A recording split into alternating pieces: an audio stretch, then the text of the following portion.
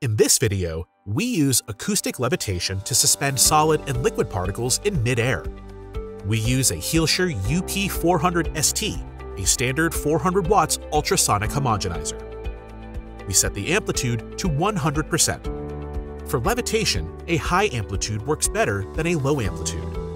The sonotrode used in this experiment produces 118 micrometer oscillations at the 100% setting. The 40mm diameter surface combined with a high amplitude produces a strong levitation effect. We start the ultrasonic probe and let it run continuously. Generally speaking, all of our ultrasonic homogenizers can be used for levitation experiments. So if you have access to an ultrasonic homogenizer, you can replicate this experiment easily. Acoustic levitation does not work in vacuum, but it will work in other gases or at higher pressure. The UP400ST works at a frequency of 24 kHz. The resulting wavelength in air is 14.3 millimeters.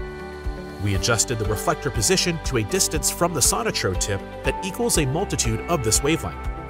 If the distance between the sonotrode and the reflector plate is not set correctly, the particle position will not be stable. This reflector has a concave surface that helps focusing the sound.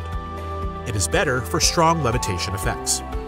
For light object levitation, a flat reflector, like this one, is sufficient. Even a regular business card can act as a reflector. The business card snaps to the correct position under the probe. This makes for a simple levitator demonstration. Upside-down setups are possible too.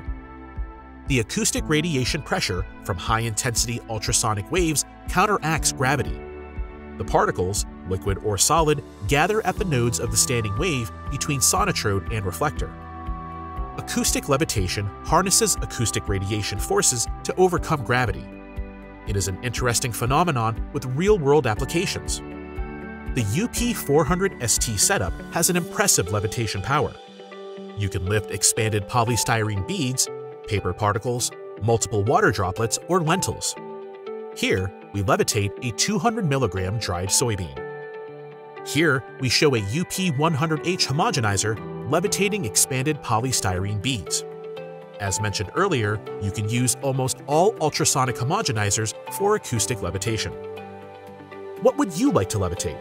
We look forward to discussing your ultrasound project with you. Please contact us today and visit hielscher.com forward slash levitate.